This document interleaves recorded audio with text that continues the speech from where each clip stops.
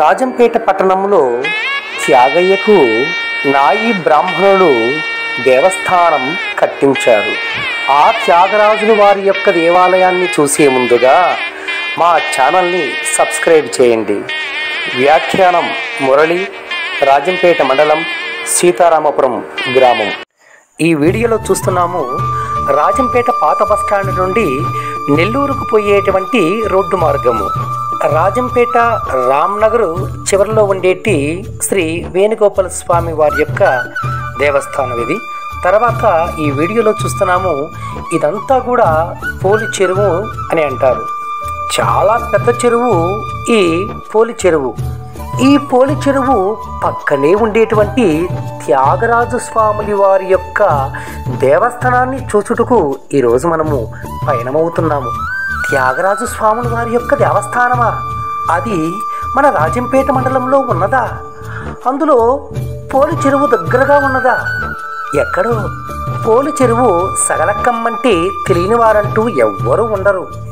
ఎందుకంటే ఆ యొక్క సగలక్కమ్మ ఏ వంద సంవత్సరాల పైబడి నుంచి అక్కడ ప్రయాణికులకు దర్శనమిస్తూనే ఉంటుంది మహాతల్లి. ఆ యొక్క సగలక్కమ్మకు గుడి ఎదురుగా ఉండేటువంటి ఆంజనేయ స్వామి అలాగే శనేశ్వర స్వామి యొక్క దేవస్థానానికి కుడి చేతి భాగాన చెరువు కట్ట వెంబడి ఒక బాట వేయబడి ఉంటుంది. ఈ వీడియోలో మీరు చూస్తూనే ఉన్నారు అదిగో త్యాగరాజులు స్వాములు వారి యొక్క కొలువు తీరి ఉండేటువంటి చిన్నపాటి దేవస్థానం.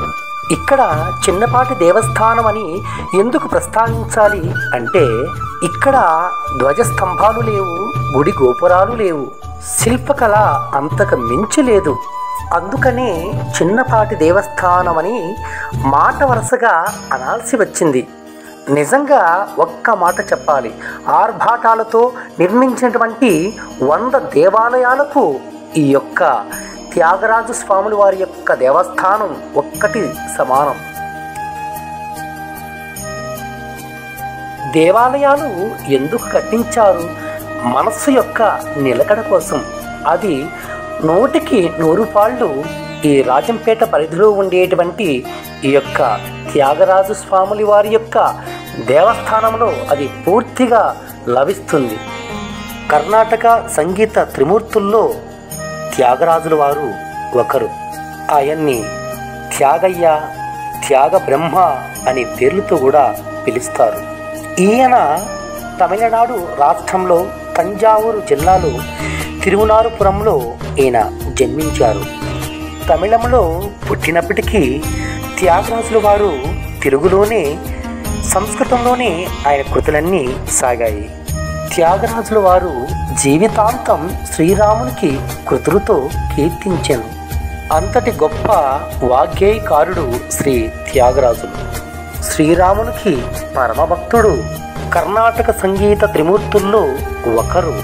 మరో ఇద్దరు శ్యామశాస్త్రి ముత్తుస్వామి దీక్షితులు. అలాంటి గొప్ప వాగ్గేయకారుడికి ఇక్కడ ఎవరు ఈ యొక్క దేవాలయాన్ని నిర్మించారు? ఎవ్వరూ కాదు.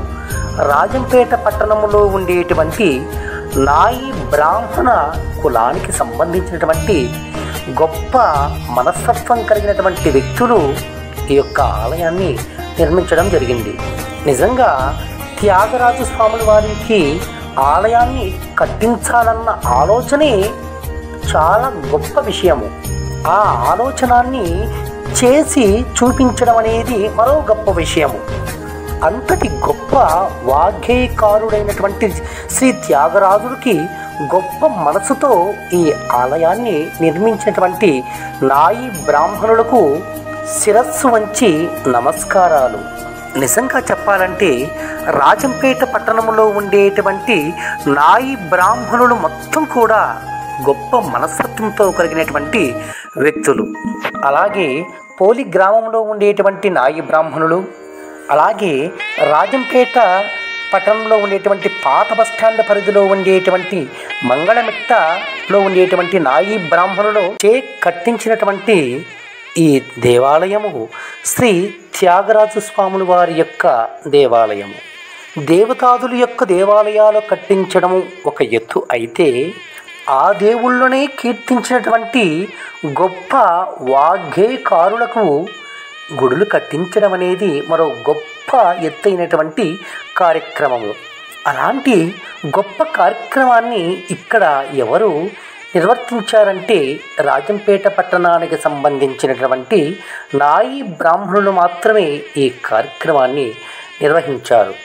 అలాంటి గొప్ప వాగ్గేయకారుడు శ్రీ త్యాగరాజు స్వాముల వారికి దేవాలయాన్ని కట్టించినటువంటి రాజంపేట పట్టణ నాయి బ్రాహ్మణులకు రాజంపేట నియోజకవర్గంలో ఉండేటువంటి అనేక రకాల గ్రామ ప్రజల తరపు నుంచి రాజంపేట పట్టణ ప్రజల తరపు నుంచి వైఎస్ఆర్ కడప జిల్లాలో ఉండేటువంటి సంగీత ప్రియుల తరపు నుంచి నాయి బ్రాహ్మణులకు ప్రత్యేక అభినందనలు. సంగీతాన్ని పరిపూర్ణంగా ఇష్టపడేవారు ఎవరంటే కేవలం నాయి బ్రాహ్మణులు మాత్రమే. ఎందుకంటే నిదర్శనము ఈ వీడియోలో మనం చూస్తూనే ఉన్నాం కదా. అలాగే ఈ ఆలయానికి సహకరించినటువంటి పెద్దలందరికీ కూడా అభినందనలు. ఈ వీడియో మీకు నచ్చినట్లయితే మా ఛానల్ని సబ్స్క్రైబ్ చేయండి. ఇట్లు మురళి.